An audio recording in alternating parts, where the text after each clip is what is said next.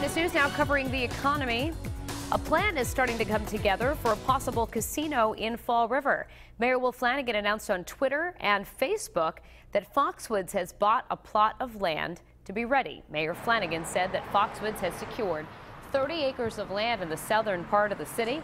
Mayor just confirmed to us that the location would take over the site of the new Harbor Mall. The casino proposal, of course, would still have to be approved by voters. We have a reporter talking to the mayor today. We'll have much more for you tonight on Eyewitness News starting live at 5.